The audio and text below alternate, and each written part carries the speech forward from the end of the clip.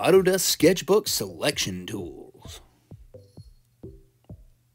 Autodesk Sketchbook has a few selection tools. The selection tools are all located here. There are three different selection tools, the lasso, the rectangle, and the magic wand.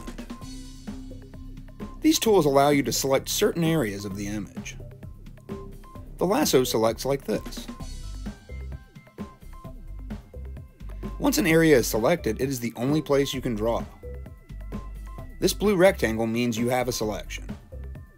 Also, the transform tools will only work in selected areas. The lasso tool selects a free-form shape. The rectangle tool selects rectangle shapes.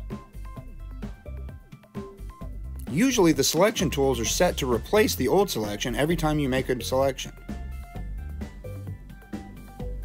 Clicking Add will let you add to the selection.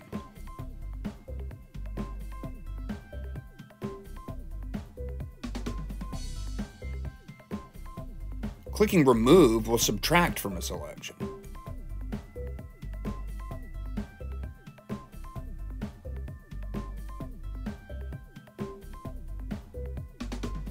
Using add and remove can help you make complicated selections.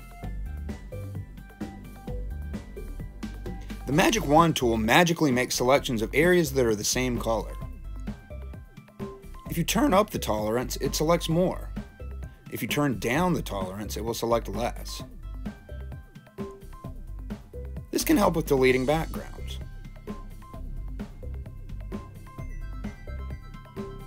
This tool will invert the selection or select the opposite part. Remember that the only place you can draw is in the selection. Click here to select nothing.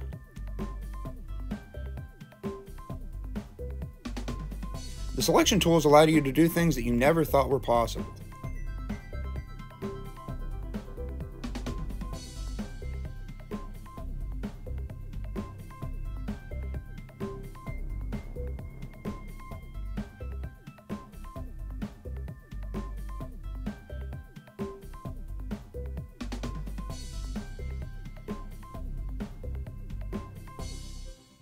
Try it out.